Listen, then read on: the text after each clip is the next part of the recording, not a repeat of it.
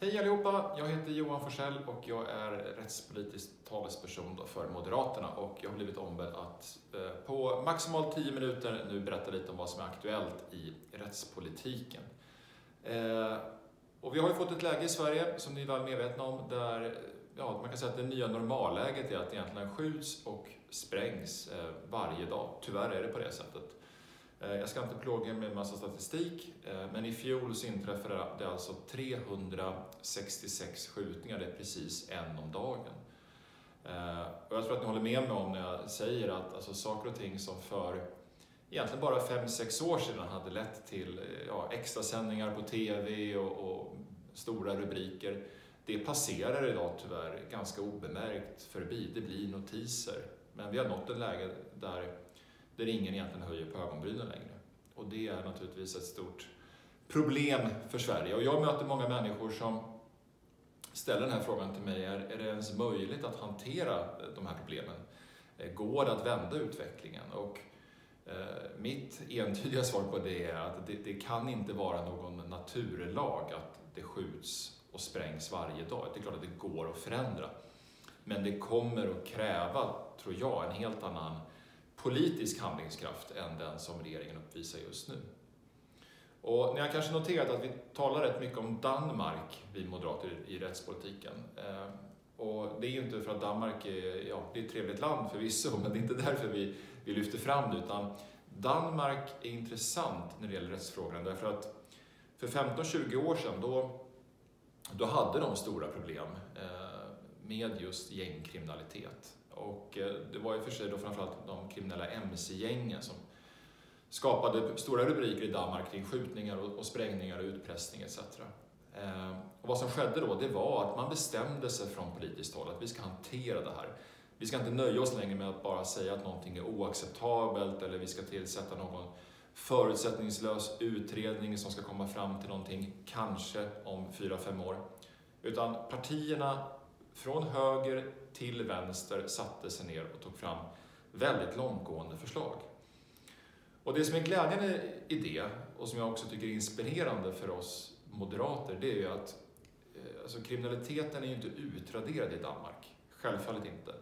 Men när man tittar på antalet personer kopplade till de kriminella gängen, då har de mycket entydigt minskat de senaste åren. Medan ju utvecklingen i Sverige har gått åt det rakt motsatta hållet. Här har det ökat. Idag är det faktiskt så att det finns fler gängkriminella bara i Stockholm än vad det finns i hela Danmark. Så det säger någonting. Problemen, eh, problemen grunden för de här problemen har, har man lagt genom felaktiga politiska beslut. Men det som är hoppfullt är att det går också att ta sig härifrån om vi nu vågar göra rätt saker. Och vad är det då som behöver ske? Ja, en lång rad olika saker vill jag säga. Det finns ingen röd knapp här, men, men det är klart att vi har pratat väldigt mycket eh, från Moderaternas sida den senaste tiden just kring det här med att uppklarningen måste förbättras. Alltså det är så många gängkriminella som begår väldigt allvarliga brott men som aldrig ställs till svars för det. Eh, och då handlar det om att vi måste ha tillräckligt många poliser men också att vi behöver eh, ha bättre verktyg för polisen att kunna klara upp brott. Ett sådant exempel vi har lyft det är att ge polisen eh, bättre tillgång till hemliga tvångsmedel.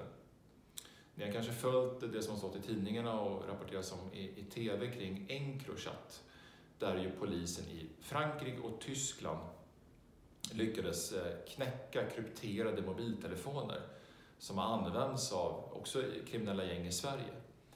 Eh, polisen själva beskriver det här lite som någon form av julafton och att det kommer ge effekter just för uppklarning och det är ju fantastiskt bra. Men man ska ju notera att det här inte har skett i Sverige utan det är just tack vare fransk och holländsk polis. Och för mig är det obegripligt varför vi, svensk polis, när problemen är egentligen större här än kanske något annat land i Europa, inte ska ha tillgång till samma typ av verktyg som polisen har i övriga länder. Den lagstiftningen vill vi förändra. Eh, inte minst för att komma åt de här personerna som befinner sig lite längre upp i gängens hierarkier. Att man inte bara får bort de här personerna på gatorna utan verkligen eh, sätter hårt mot hårt mot de här gängledarna. Eh, sen ser vi ju också hur gängkriminaliteten är komplex i den delen. Det handlar inte bara om skjutningar och sprängningar utan eh, vi ser också till exempel att ungdomsrånen har ökat väldigt kraftigt. Och jag tror att de där sakerna hänger ihop därför att de personer som idag är de som rånar andra, det är de som kommer att, att eh, skjuta och spränga imorgon. En väldigt aktuell fråga som vi är uppe i justitieutskottet precis nu, det är frågan om man ska sätta eh, begränsningar för häktningstiderna. Regeringens förslag, ivrigt påhejat av eh, Miljöpartiet då, som är de som har drivit det här främst i regeringen, det var tidigare att man skulle ha tvingande tidsgränser för alla. Där man helt enkelt säger att det finns en gräns för hur länge man ska kunna hålla en person häktad. Polisen, åklagarna har protesterat mot det här väldigt kraftigt. Därför att det kommer att försämra möjligheten att klara upp brott. Eh, det kommer innebära att om man bara håller tyst tillräckligt länge eh, så är det, skulle det bli goda möjligheter att man sen kommer att släppas och inte kan lagföras helt enkelt för de brott som man kanske har begått. Nu har vi lyckats förändra det här förslaget. Eh, det senaste är att det bara ska gälla personer under 18 år, men det vill jag säga det är tillräckligt allvarligt. Därför att vi ser ju hur kriminaliteten sprider sig allt längre ned i åldrarna. Eh, och det här kommer att göra det än mer attraktivt för gängen att just rekrytera minderåriga till sin verksamhet. Eh, de här gängledarna de kommer säga till 16-17-åringar, du, du, kan göra det här brottet, du kan bära det här vapnet eller skjuta den här personen. Om polisen griper dig, bara du håller tyst i tre månader så kommer du ha goda förutsättningar att släppas ut på gatan igen. Och det vore väldigt, väldigt allvarligt. Då kan vi få ytterligare en push nedåt i åldrarna eh, för personer som begår allvarliga brott. Och vi gör allting nu för att stoppa det här förslaget. Vi har haft två extra remissrunder eh, och, och, ja, det är inte över än. Vi gör allt vad vi kan helt enkelt. På det temat så har vi också här den senaste veckan haft en diskussion om de här eh, ungdomshemmen eh, där man ju då placerar personer som döms till sluten ungdomsvård eh, Eh, och som är under 18 år. Man sätter ju inte dem i fängelse utan de hamnar allt som oftast eh, på de här ungdomshemmen. Tyvärr är säkerheten på de här ungdomshemmen väldigt eftersatt. Vi har sett flera personer under hösten som har rymt från dem. Man har i praktiken fri tillgång till mobiltelefoner, iPads, kan kommunicera med omvärlden. Till och med fortsätta med brottslighet medan man är placerad på ungdomshemmen. Och det här är då även för personer som har begått väldigt allvarliga brott, till och med mord. Eh, vi har sagt att det där måste man ta ett, ett helhetsgrepp om och förändra i grunden. Eh, här krävs det mer av ett brottsofferperspektiv. Eh, är man, även om man inte är myndig, så är man vuxen nog att begå vuxna brott, då är man också vuxen nog att faktiskt ta konsekvenserna av de handlingarna. Och här vore det nog mer motiverat att införa någon form av statliga ungdomsfängelser för de som är ja, helt enkelt mest kriminella. De ska inte kunna placeras på sådana här ställen som i praktiken inte är ett straff. Det blir ingen konsekvens utan, utan eh, man kan rymma därifrån när man vill. Och vi behöver också förlänga den här maxtiden som finns idag. Det är maximalt fyra års eh, tid man kan få på sånt här ungdomshem. Det tycker jag rimmar väldigt illa med det för oss moderater så viktiga brottsofferperspektivet. Här har regeringen, föga förvånande, inte velat lyssna till oss. De har inte heller velat lyssna till eh, den majoritet som faktiskt finns i riksdagen och eh, jag har precis under dagen haft kontakt med eh, flera andra partier i justitieutskottet och här kommer vi att ta ett gemensamt initiativ för att tvinga regeringen att ändå vidta de här åtgärderna, förändra de här ungdomshemmen och förhoppningsvis föra över ansvaret till kriminalvården, skärpa säkerheten, ställa högre krav på den som också får ett sånt här straff. För det behövs helt enkelt. Vid sidan av det så har vi flera frågor som kommer upp här under, under våren. Vi kommer att driva på för att också göra en hel del straffskärpningar. Det är någonting vi kommer att diskutera.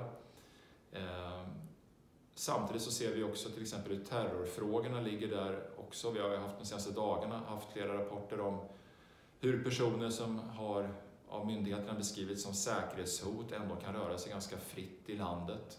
Tycker jag är väldigt allvarligt. Vi har redan haft flera terrorattentat i Sverige och vi ska måste göra allt vad vi kan för att det inte ska inträffa ännu fler. Den här frågan kommer att vara aktuell, eller de här frågorna kommer att vara aktuella under hela våren. Jag är helt övertygad om att de kommer att fortsätta vara aktuella ända fram till valet. Jag tror att vi har en bra, bra konflikt här med regeringen som möjligen kanske ser samma problem som vi gör, men som ju gång efter annan har bevisat att man inte är förmögna att faktiskt hantera och lösa de problemen. Eh, men jag tror att väljarna förväntar sig av oss moderater att vi både pekar problemen men också lägger fram konkreta lösningar framåt som kan få stöd i riksdagen. Och det är vad mitt eh, arbete är inriktat på. Har ni frågor eller funderingar så hör jättegärna av er till mig, johan.forsell eh, med 2s och 2l riksdagen.se. Tack så mycket!